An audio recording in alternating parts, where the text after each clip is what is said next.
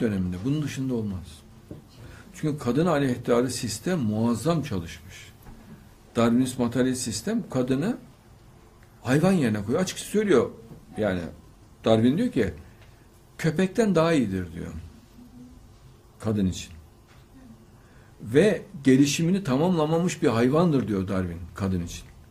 Gelişimini tamamlamamış bir hayvandır. İnsan değildir diyor kadın için.